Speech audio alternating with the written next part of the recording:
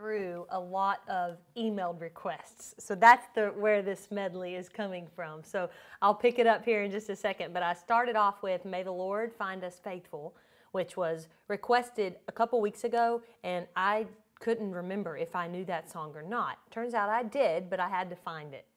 Sorry to interrupt. No, but, you're fine. Um, we had some technical difficulties and no one could understand the first couple songs. So we're going to finish your list and we'll go back and do God Be With You Till We Meet Again. and Perfect. Did they maybe- hear May the Lord Find Us Faithful? Do I need don't to- think so. I think those two were uh, Perfect. I'll definitely start. messed I'll up. play a verse of those two again then. That sounds good. Yeah. Go ahead Okay. and work through your list and then t- we'll circle back around on Works those. for me. So I I started with May the Lord Find Us Faithful and then God Be With You Till We Meet Again, which I'll play again here in just a second. And then I did with harps and with is it vials or viols?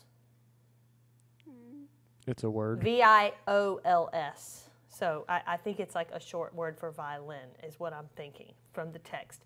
But that was a really fun song to play, and that came from the Trinity hymnal. And then I went into I Can Trust Jesus, which is a gospel song that the Collingsworth family has sung for years. And then I'm about to play Tell It Again, which is by Mary B.C. Slade and R.M. McIntosh. And someone emailed me and asked me to play it, and we found it in Soul Stirring Songs and Hymns. So sometimes it takes a little bit of digging for me to find these, but we did have it. So this is a relatively new one for me, I think. I don't, I don't think I knew it very well, but the text sounds familiar. So this is Tell It Again.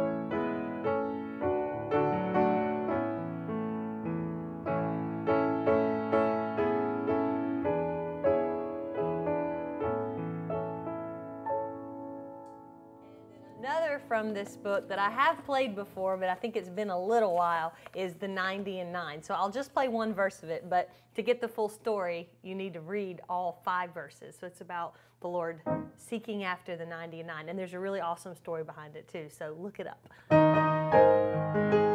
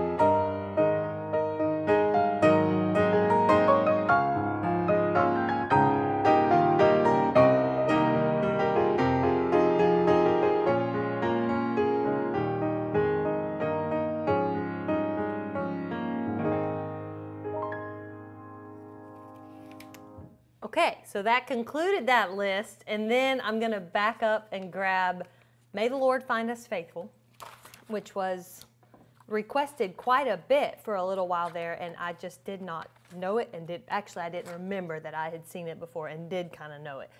So let's find that again. I lost my page. May the Lord find 429.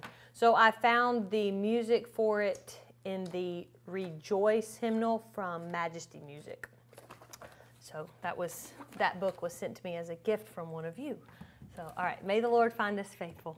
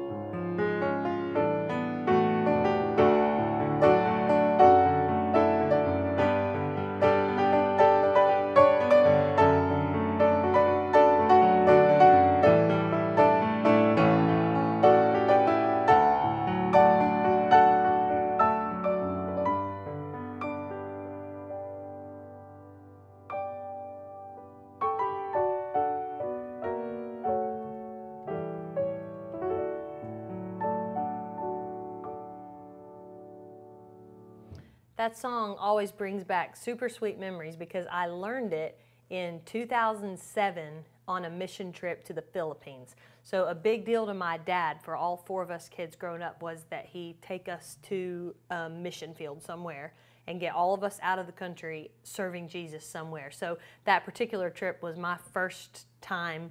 I think that was my very first time out of the country. It was. And so he took my older sister and I, and he had taken my brother to that trip the year before. And it was a big camp meeting actually in the Philippines, in Lipa City, in the Batangas province.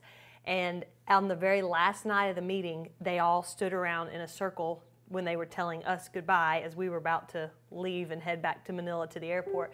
And they all sang that song. And it was just, it was very emotional because it was all these people that a week before you did not know and now meant so very much to you because you realize you're part of the same family. You're the family of God. And just singing that, thinking of the likelihood that a lot of these people we probably would not see again until eternity when we were together forever with Jesus. And uh, that's where I learned that song. So I always think of that church and that group of people whenever I get to play that. So thanks for requesting that one. Somebody sent me an email and requested that. So I enjoy playing for you. And now I'll get to all of your requests that Josh has been keeping up with while I was doing the opening medley. So that's always fun. He has a much harder job than I do for this kind of session. So. Well, thanks everyone for the feedback that helped me know that there was a problem because everything on my end sounded and looked good, but it clearly was not. So I'm thankful that I was able to actually try something that apparently worked for a change. So that's good. uh, all right. Well, we're glad to be back at it. What has it been? Mhm. Two weeks? Yeah, two I weeks. think? Yeah. So we missed you guys. thanks to everyone who actually came out to the um, hymn Mhm. sing and the choir workshop we did. That was really awesome to meet quite a few of you. It was actually, I guess we were a bit surprised, but probably shouldn't have been. So We both agreed that was our favorite part was getting to meet so many of you that said, "We watch your Sunday lives." It was like, "Oh wow, it's so nice to meet you in person." So, thank you guys for coming. That we do not take that lightly. We appreciate it. yes. Okay. So Natalie, how are you feeling? I'm feeling pretty good. So, I the nausea is way down and the baby's kicks are way up. So, I guess that that's a much better trade-off. I will take the baby kicking over nausea any day. So, yes. All right. You ready? yep, I'm ready. Okay. Is your all on the altar?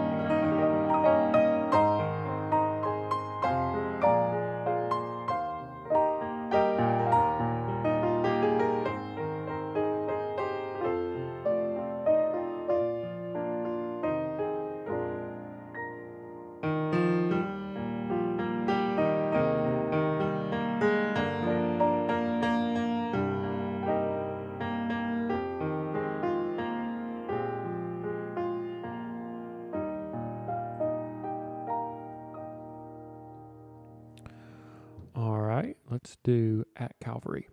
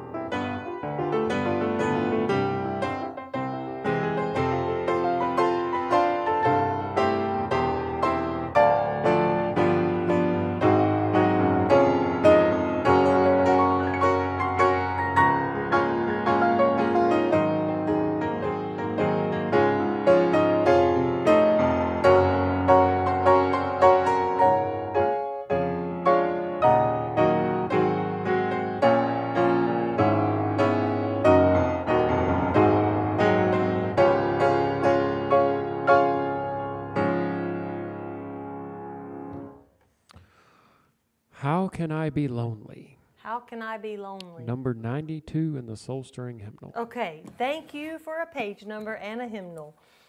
90, 92? 92. Okay. I don't know this song. So we'll see what happens.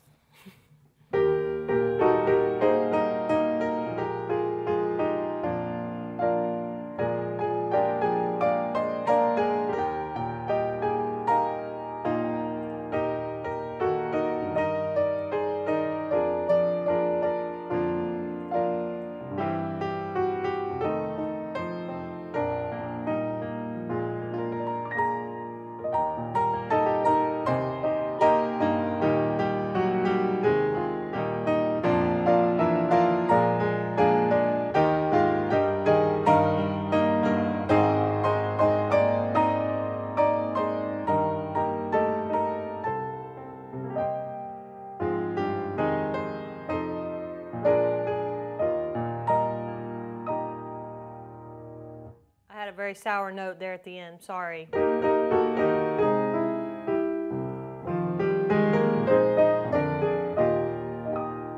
Sorry, that's a that is a beautiful song. The words are just wonderful. One is walking with me o'er life's uneven way, constantly supporting me each moment of the day. How can I be lonely when such fellowship is mine with my blessed Lord divine?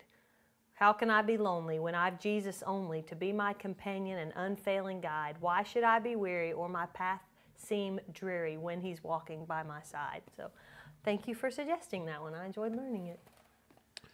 Give of your best to the master. Oh, that's an old one. Wow. As a kid, that one always perplexed me because it has the minor section in the middle. And I never was like, I was always like, ah, why is there a minor section right in the middle? I was kind of a nerdy kid singing it that way, but I love the song.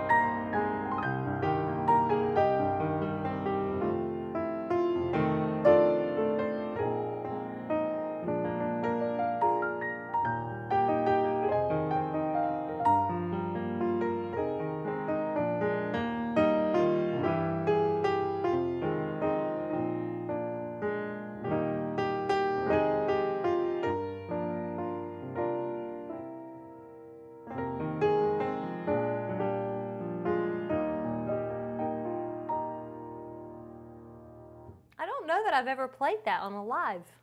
That it's not ringing any bells that I have. So um, I don't think so either. I think that was a blast from the past. We sang it as an invitation song when I was a kid. It's it's a redback song. So All right, next one is Sound the Battle Cry. sound the battle cry, dun dun dun dun dun. That is all I know of that song. Okay, yeah, we wouldn't get very far. Hold on, let me pull it up. Sound the battle cry.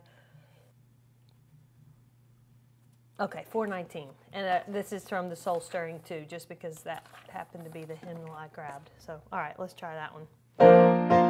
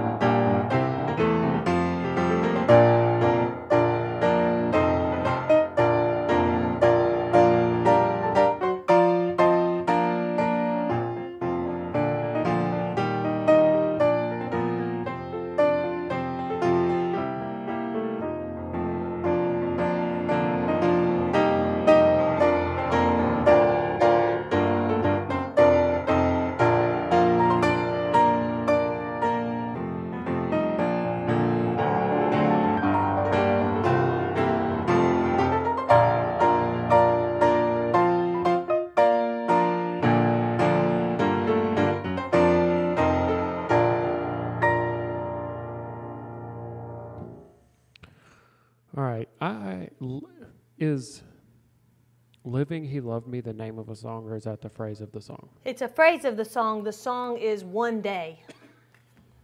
Okay, one day he's coming. That's right. Okay. All right.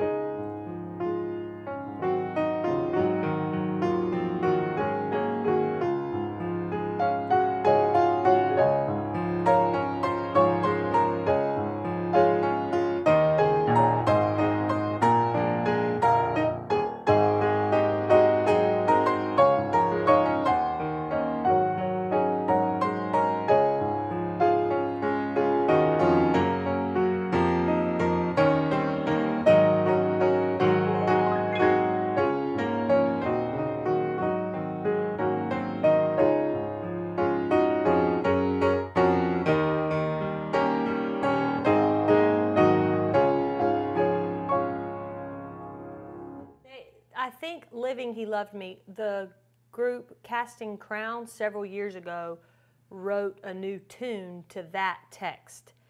I don't know that tune, so I'm sorry, but that that I think they called their version "Living He Loved Me." I believe. Don't quote me on that, but that I think that's where that comes. But it is the same text as "One Day." We may or may not have gotten that one right. I think the request was from like Great Britain or Oh, somewhere over there. So Pardon that us might if not we have have been the right. wrong tune. Well, the song I played had the words "Living, He Loved Me," so. All right. Um, the truth is there. let's see if you can play this one. Will the circle be unbroken? Yeah.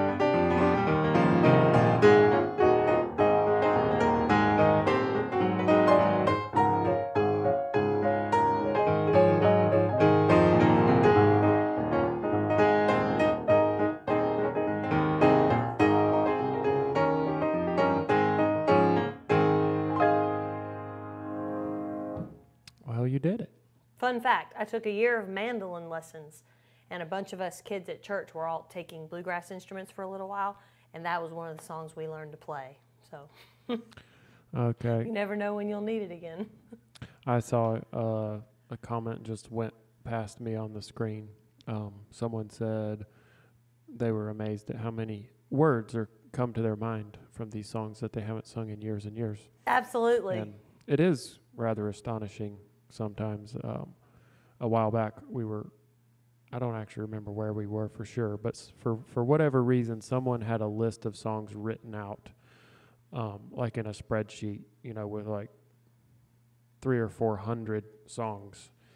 And as I like glanced through, it, I was astonished that like I knew almost every one of them, where I Yeah. had or they were all familiar. So I don't know. I imagine if you had to guess, Natalie, how many songs do you know? It would probably be Several hundred? Yeah, I don't know. You pro- probably more, all of us know more than we realize. I think. Like yeah. it's like, oh, I right, I remember that song. So they there's an old phrase that says, "What is taught in song is remembered long." It's like when you attach words and a tune to your memory, something about it helps it stick in there. All right, let's do There is Joy in Serving Jesus.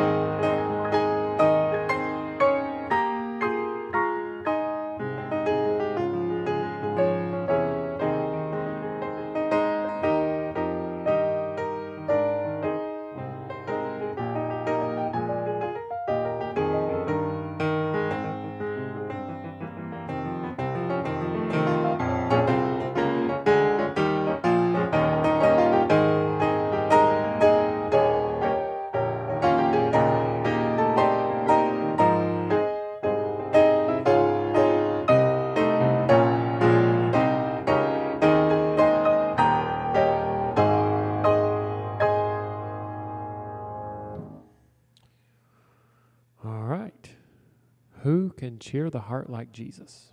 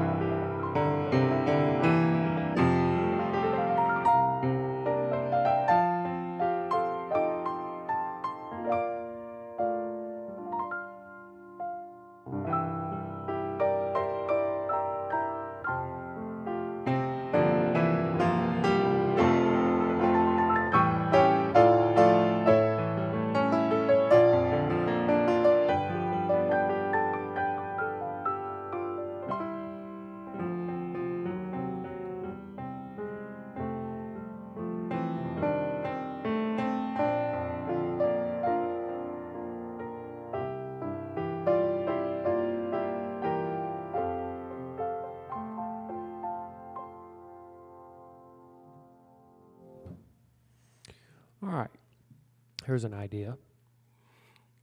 How about play a song from the um, new beginner c- course? The new beginner course. That music is over there. Okay, don't worry about it then. I'll get it for you in a little bit. Okay, yeah. Well, we should do that though. That is a very good idea. Like the differences in level one and two. Yeah. That'd be fun. All right, let's Note to do Gentle Shepherd.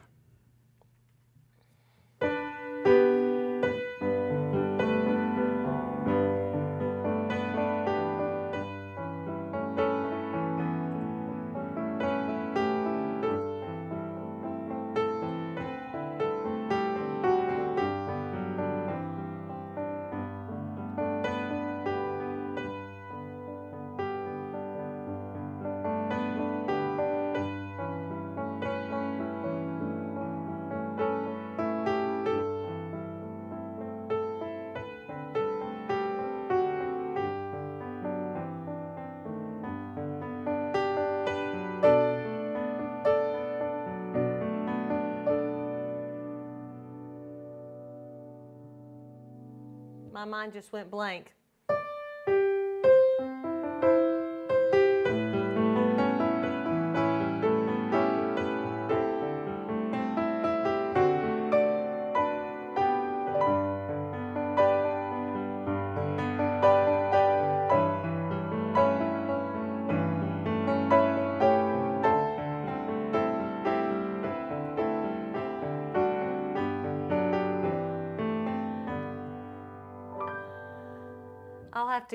L- learn that middle section. I, it just completely left me there for a second. I know which hymnal it's in, and it's over there, but uh, yeah, that was bad. All right.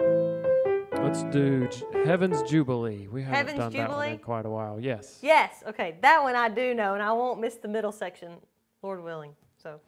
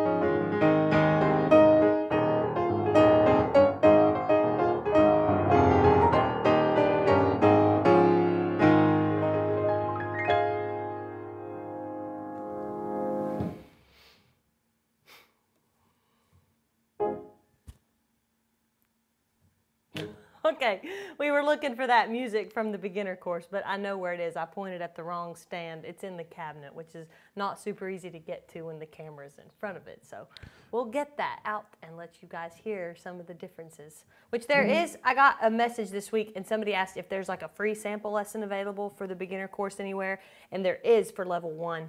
Uh, when I survey is on YouTube, and it's the exact lesson you get in the course. We just included it out there for free so you can see what the course is like.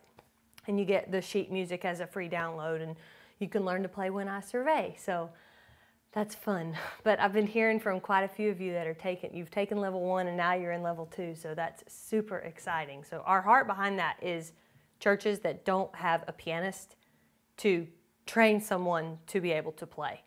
So that, or someone who just wants to learn to play and always has, and the thought of like lessons is a little bit intimidating or it's not cost effective or whatever. That's why we did the course. So it's available and accessible and you can watch it on your own time and you get lots of songs and lots of music. So that's what it's all about. Okay. Yes. So go to the website. Um, That's it there.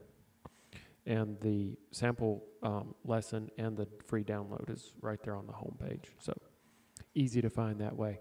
Do you know? I think we've done this one before, but I don't know if we you can remember he.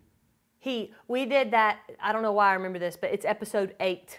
Oh wow, that was very long ago. Very long time ago. I, I, someone sent me the sheet music for. it. I don't know that song by memory at all, and apparently it was super popular back in like the '60s and '70s, maybe the '80s. It's all before my time. So, very popular back then. Uh, I played it on that episode and haven't since. So I need to pull that one back out again. But yeah, you can hear it on episode eight. Okay, we have a request from your niece Willow, Okay, what does Willow want to hear? uh, the old time way. The Old Time Way. That's her favorite youth choir song. So, yes, and that was written by a friend of ours, Jonathan Montgomery. So, if any of you guys have seen the revolving piano quartet video, he's the other guy other than my dad. So, he wrote this song. So, it's a great one. All right, Willow, you got to sing out really loud while I play this for you.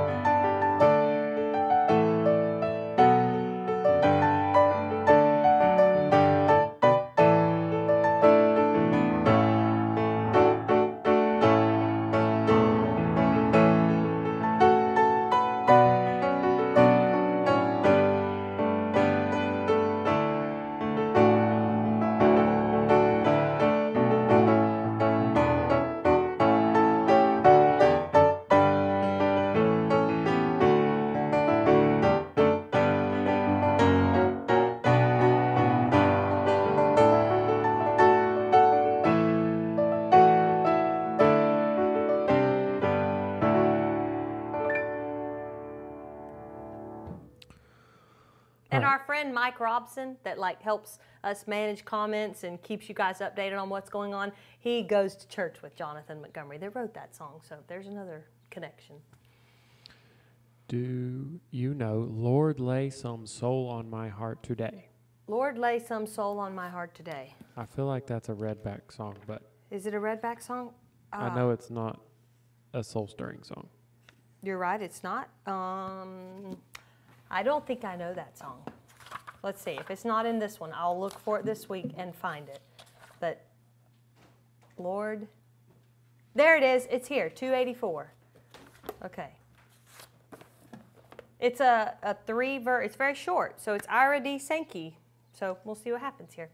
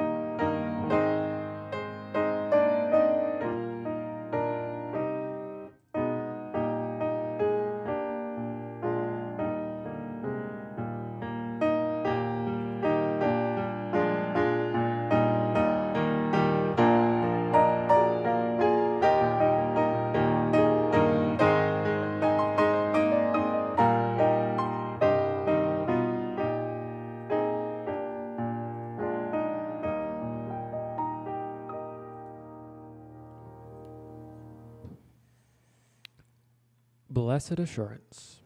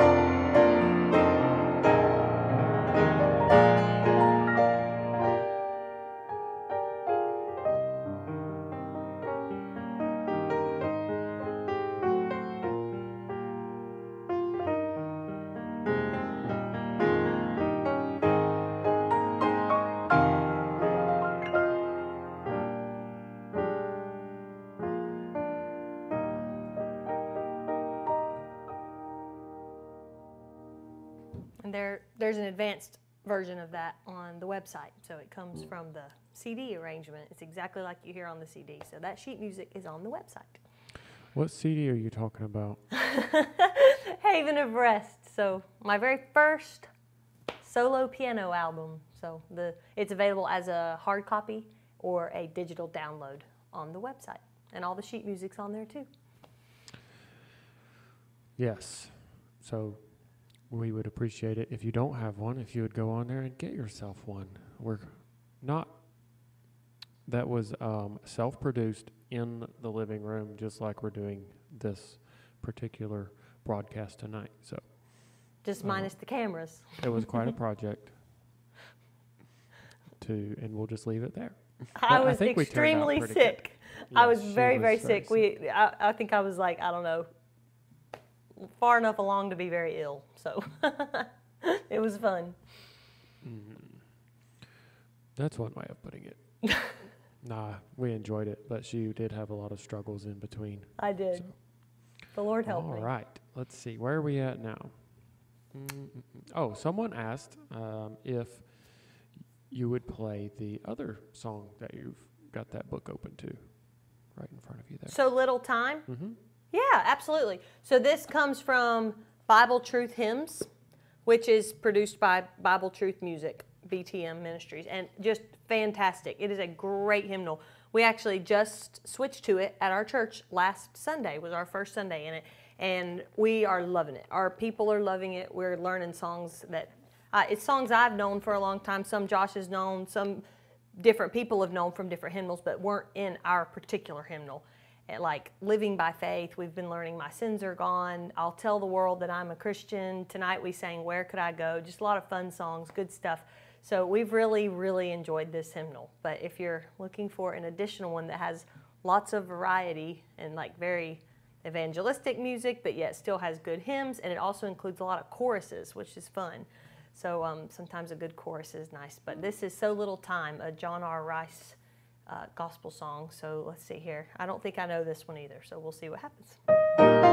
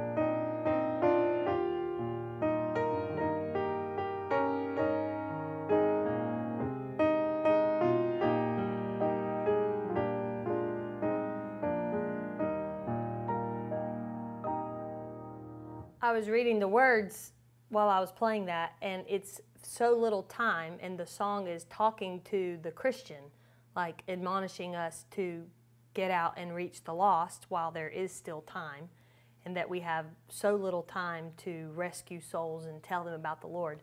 But as I was thinking about that while I was playing, I was also thinking for the person who has not accepted Christ, time is short as well because James tells us you do not know what tomorrow may bring, and that for what is your life, it is even a vapor that appeareth for a time and then vanisheth away. So there's also so little time for you to make that decision to turn to Christ. And I, I think I've been very impressed upon that this week because I've gotten several emails from you guys that watch very faithfully, and you've said in the email, I'm not a believer, but I watch because the hymns bring back good memories of my childhood, or I like piano music, or things like that. But you've said you are not a believer and you do not know Christ as your Savior. So while Josh and I love sharing gorgeous hymns and beautiful texts that do bring back great memories and comfort our hearts, our real burden behind this is that you would come to know the Lord and that you would not turn away from His gift of salvation because it's not of works of righteousness. You could never be good enough to get into heaven. It won't happen just because you, your good outweighs your bad. You could stack all of your good up and it would still not measure the standard of holiness that God demands because He is a perfect, holy, righteous God. And that's why He sent Jesus Christ, who completely took care of our sin problem. But you have to accept Him. You have to turn to Him in faith and repentance and accept that free gift. But it is a free gift, it's completely free. It's offered to you. There's a verse that says, Today is the day of salvation. And if the Holy Spirit is tendering your heart towards knowing Him personally, knowing Jesus as a friend, as your Savior, as your personal Lord and Savior, don't turn away from Him because just like there's so little time for the Christian to reach souls, there's so little time. You don't know what your life is going to do tomorrow. You don't know that you'll have a tomorrow, but yet you do have right now. So if you're not a believer, I pray that you will accept Jesus Christ before it's too late. Amen.